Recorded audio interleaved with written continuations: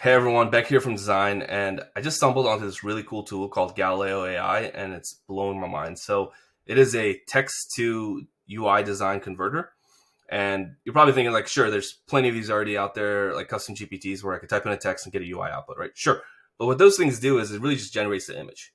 Galileo, on the other hand, not only generates the image, but it also gives you a copyable Figma node that then you could paste into your Figma file. So it's not just the image; it's the design as well. And uh, you pair that with Deezign for Bubble, and you can go from a text description of whatever page or component you're trying to create to it being in your Bubble editor within a minute, right? And if you look through here, uh, it's very Midjourney like, where you could see uh, what other users have created, just to give you some inspiration, get an idea of what's possible.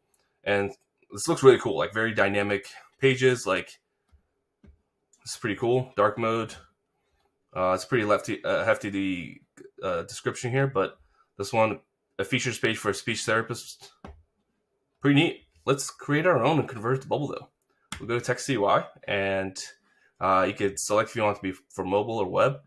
And it takes about a minute after you enter your prompt for it to generate it. So we'll just use one of the ones that I created earlier.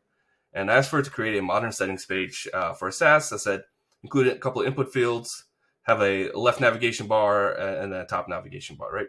These two look pretty similar. I think really the only changes are this one doesn't have icons, I think, and then this one does have icons. There's probably other couple of nuance changes, but this one is uh, a little more unique, and it's a really good starting point, right? And uh, I have a couple of input fields. I could upload a profile picture, and the cool thing is, just like ChatGPT, I could talk to it and say, "Hey, make this change," right? Like I really like image number one but my color palette is X, Y, and Z modified that way, right?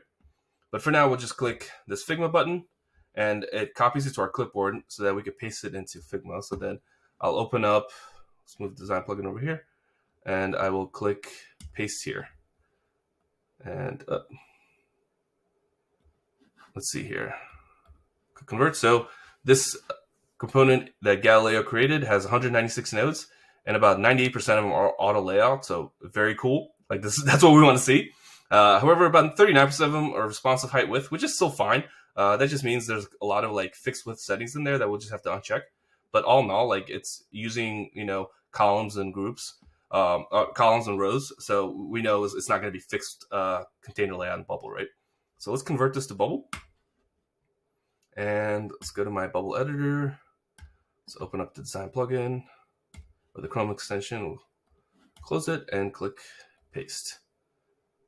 And I, I probably could have just gone through here and clicked through all the input fields and marked them as inputs and then mark this as a button. But for this demo, we'll just jump right through it. And we can see here, like, there it is. It's in my bubble editor, right? Like I, uh, I asked for the prompt. It gave me three examples. I chose this one. And next thing I know, it's already in my bubble editor. Like, does no code get even faster? Like, oh my gosh. But let's just click preview.